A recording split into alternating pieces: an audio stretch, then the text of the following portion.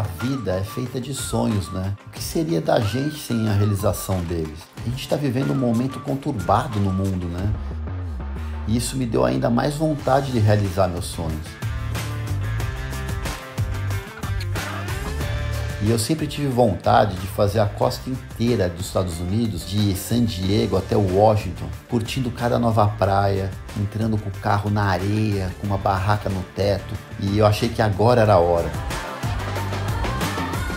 A costa do Oregon com certeza é a mais verde e a mais inexplorada dos Estados Unidos. Quando eu fui para o Alasca alguns anos atrás, eu conheci uma amiga que se chama Jennifer, que ela tá por lá com o marido e ela entende tudo da, da região. Então vai ser demais.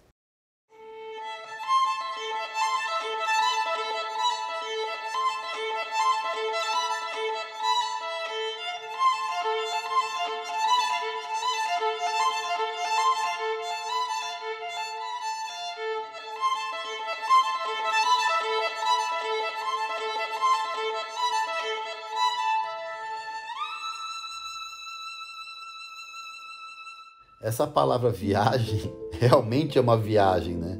Porque por mais que você projete o que vai acontecer numa trip, você nunca sabe.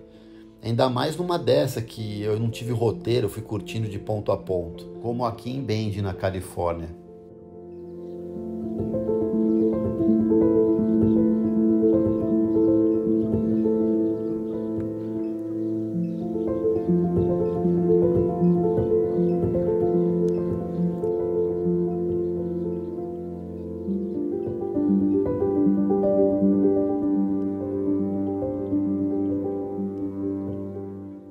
Agora é hora de conhecer Salt Jerry, no Oregon, onde minha amiga Jenny mora com o marido. E eu conheci ela no Alasca numa viagem também alucinante. E ela sempre me mostrou fotos desse lugar, eu vejo os posts delas nas mídias sociais, eu sempre tive vontade de conhecer. Então agora é hora de realizar mais um sonho com essa minha amiga.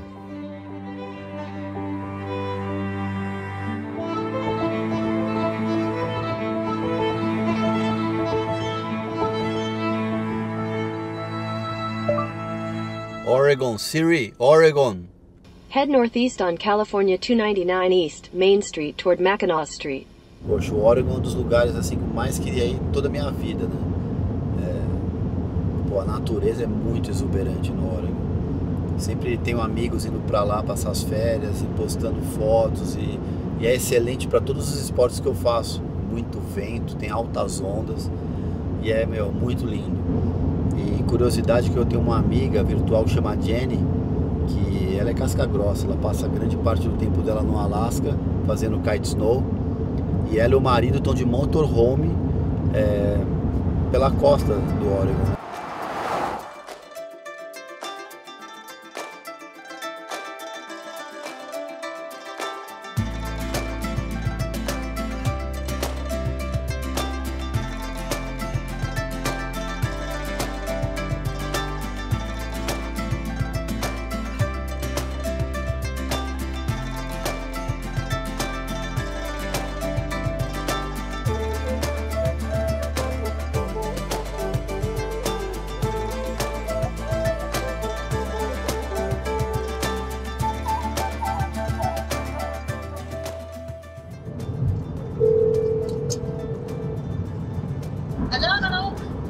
Yes, now we can talk.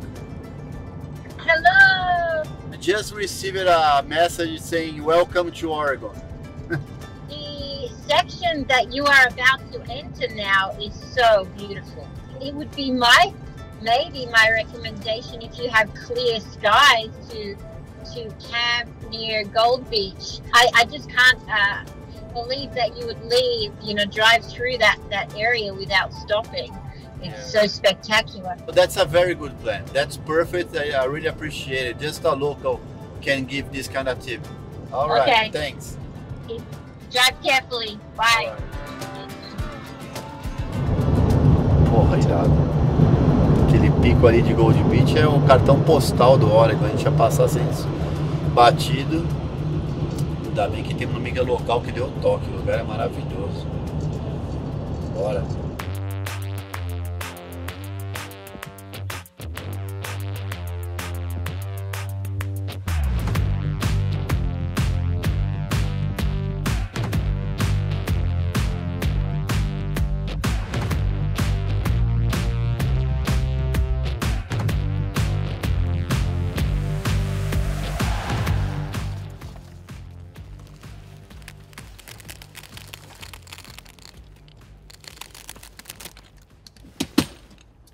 Todo dia que você chega num lugar que você sempre sonhou em estar, né?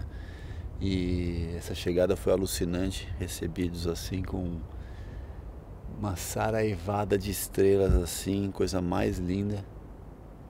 Vou curtir aqui um pouquinho as estrelas, dar uma energizada, cansadão. Daqui a pouco é cama, mas por enquanto as estrelas estão ganhando aqui. Acabei de ver estrela cadente. Ah, você ficar olhando aí vai ver um milhão delas. Vi a estrela cadente agora, vou fazer um pedido, né?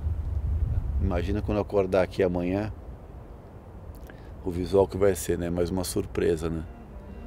Que a gente está aqui nesse parque, tudo escuro, dá pra ver que tem essas árvores lindas e a gente está de frente pro mar. A hora que a luz entrar vai ser aquela surpresa, né? Que noite linda.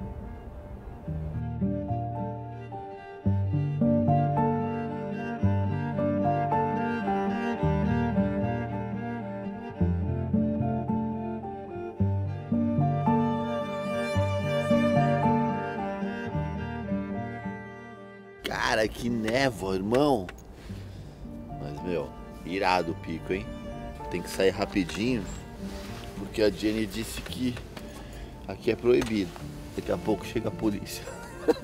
Na verdade, aqui é estacionamento, né? De uma das dos mirantes aqui da, da área.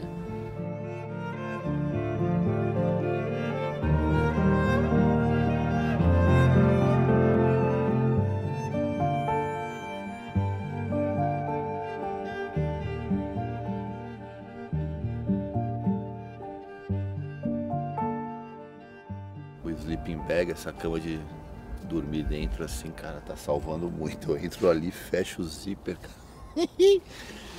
E meu, me abraço à noite. Mó névoa, hein, careca?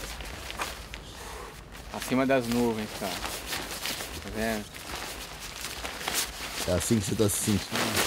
Não é? Olha lá. Olha o céu que bonito, né? Engraçado, a névoa tá só no mar. O céu tá bonitão. Ele não aguentou dormir comigo ali roncando. Fala aí, Gera. Tá louco, né? Não dá, não dá. Tem que dormir, né? Todo dia essa rotina. Vou te falar que eu vou sentir saudade, irmão. Dormir aqui. Todo dia acordar num lugar novo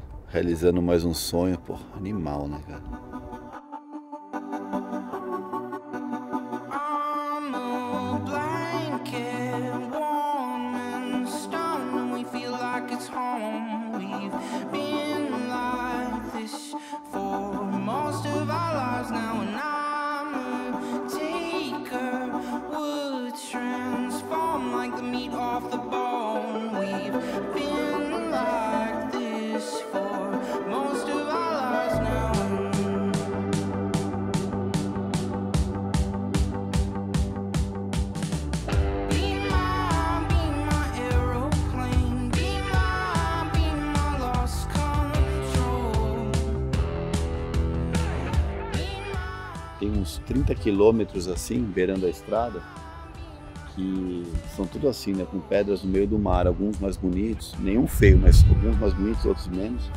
Agora, esse aqui é famoso. Mas na hora que eu abri os olhos e eu vi isso daqui, cara, é muito mais bonito do que em fotos. Sempre que eu vi as imagens daqui, eu falava, não, vou realizar o meu sonho um dia de velejar entre as pedras ali e tal. O queixo caiu aqui. Mal visual, e pra lá é toda aquela costa maravilhosa. Acho que eu vou fazer um foil, uma ondinha que eu vi ali no meio de umas montanhas, sem ninguém. Chega de visual bonito, quero água. O estado do Oregon tem cerca de 4 milhões de habitantes e o significado da palavra Oregon vem do francês canadense que quer dizer hurricane, furacão. Então, para quem gosta de vento, é um prato cheio, além das ondas, né, que são alucinantes. E toda a costa é tida como um dos lugares mais bonitos dos Estados Unidos e também do mundo. Então, mais um sonho realizado na minha vida.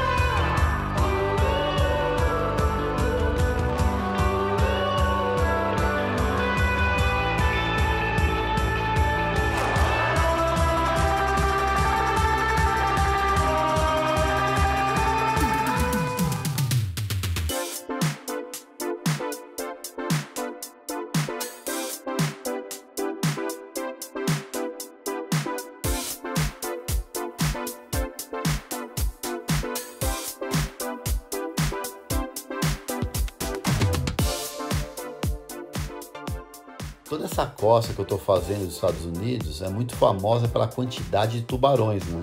Especialmente no Oregon, que são os tubarões brancos. Então a galera aconselha você nunca surfar sozinho. Mas quando cheguei ali na praia, eu vi um cara na água e aquele visual alucinante nos lugares mais bonitos que eu já vi na minha vida. Meu, eu falei, vou pra água, não quero nem saber de tubarão, né? Mas na hora que eu entrei, eu vi que a profundidade era muito rasa, né? Então era difícil para andar de fora. Então saí da água, mas foi um alívio também. Agora, quando encontrei um pico alucinante para fazer o foil, foi demais, né? Fechar o dia com chave de ouro.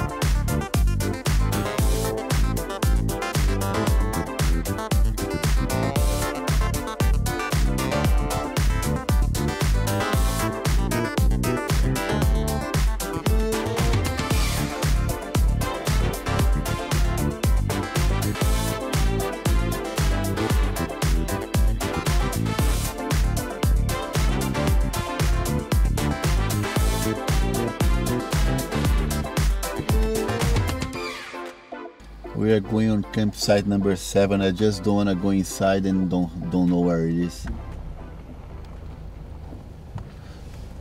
Porque a rua tem um deslize assim, a cama vai ficar. The farther you go up, the more level it will be. Oh yeah. Um, the bathroom code to get into the bathroom is 5028, and the Wi Fi code is bend the rod 21. Good that we He's have got it- recorded. He's got it on record. I figured. Thank you very much. Thanks.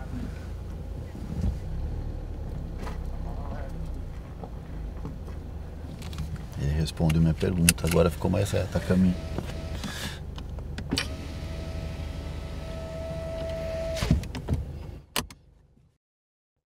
A hora que eu cheguei aqui à noite, não dava pra ver nada, né? Então o cara me guiou aqui, estacionei, não ouvi barulho de nada, cansadão, montei rapidinho a tenda e dormi, né? Tava muito cansado, já era uma, quase uma hora da manhã. Mas, meu, pela quantidade de motorhome que tem aqui, o lugar é super quieto. Não tem barulho de nada, olha isso, super organizado. E agora aí tomar um cafezinho. A minha- amiga, eu já vi ela ali quando saí do banheiro, ela falou que aqui não tem nenhum lugar assim, um restaurante para tomar um café, só um- uma bega, um cafezinho e bora pra praia.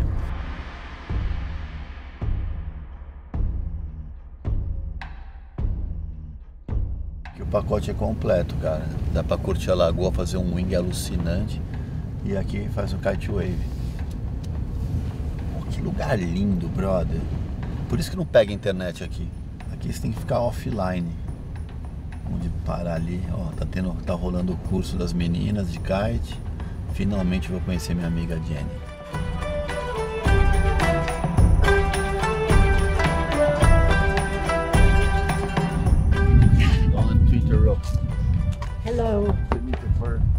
To see you. Crazy, yeah? So stoked you're here. Yeah. Welcome. I don't wanna interrupt your. Maybe I can stretch with you guys. We're just doing a quick little balance routine, and then um, I would love. Um, I'm going to explain the different balance pieces, and we're all going to switch between them. While that we're doing that, would you be happy to share some Oh yeah. some knowledge with us and do a For talk? sure.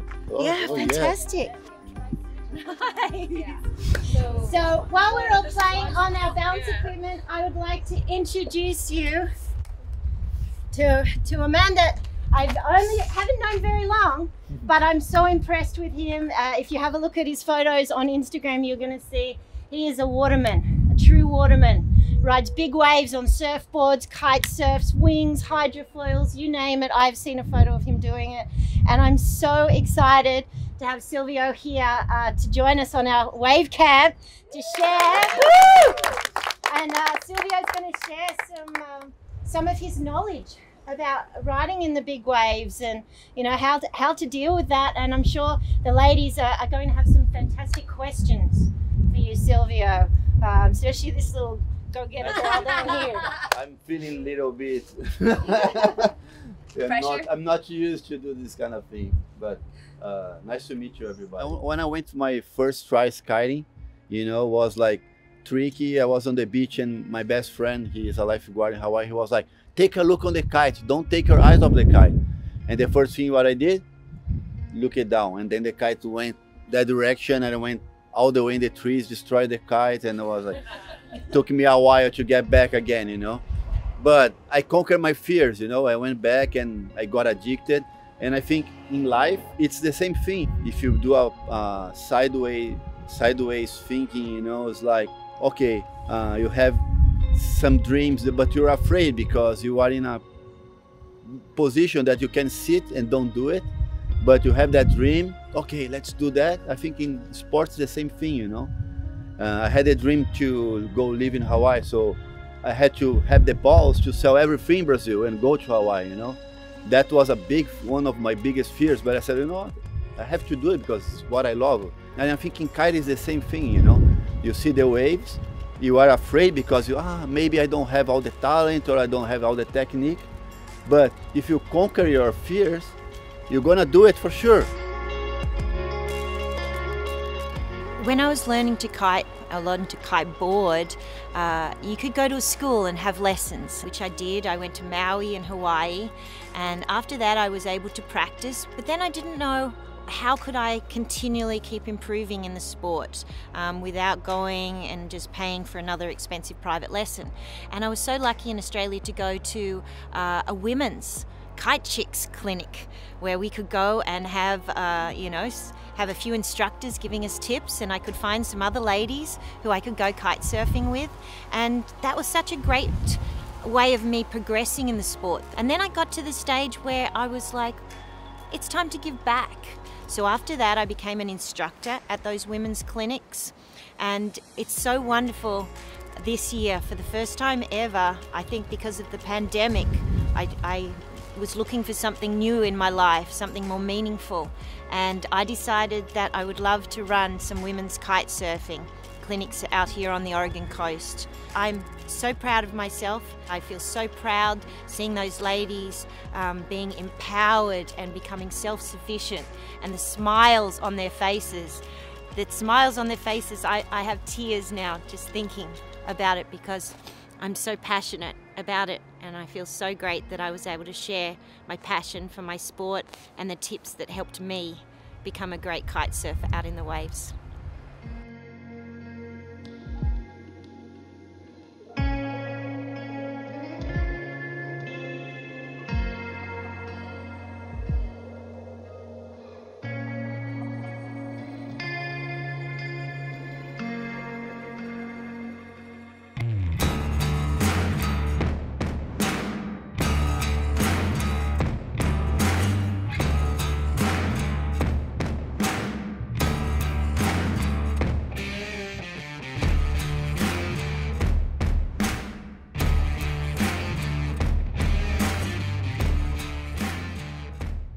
To teach, you need to have talent. God has to give you the talent, and you are amazing. You're an amazing teacher. Yesterday, uh, I taught all the girls how to self launch and self land, which was amazing. And at our sushi dinner, you would have loved it. We had a we had a, everybody got to say what was their fa- favorite part of the day, and uh, and all of the ladies said how empowered they felt being self sufficient, being able to launch the kite themselves. I remember your face yesterday when I said, Cecilia, we're going to learn how to self launch today. And the look on Cecilia's face was, a horror because we we're not taught at school you know like even like how to do that you know to be self-sufficient always there's someone holding the kite for you so it's just like i'm impressed by your camp and it's so amazing to learn all these new skills Another thing that's important is you, you don't want you, your kite to fall in the water, you know? But it's Yeah. something that's gonna happen. Cecilia, if I say to you, you know, how do you feel about self launching today? good i feel good i feel confident i'm gonna do it five times frio.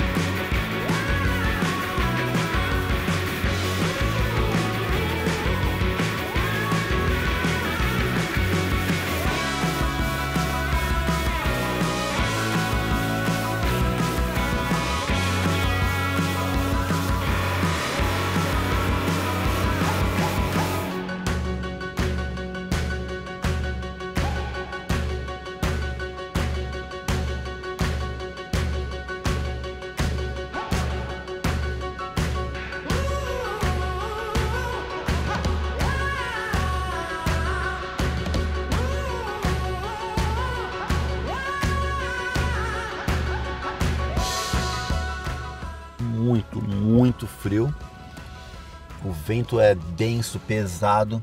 Parabéns para as meninas que entraram no mar hoje. As ondinhas estão show, mas a minha energia foi assim, ó, é muito mais rápido do que no, em lugares quentes. Tomei uns rolas na água gelada, assim, o vento meu super forte, a mão ficou uma pedra. E final de tarde fazer o wing aqui no Rio, que vai ser maravilhoso. Mas agora eu preciso relaxar aqui dentro do carro. Uf, recompor as energias para o final de tarde.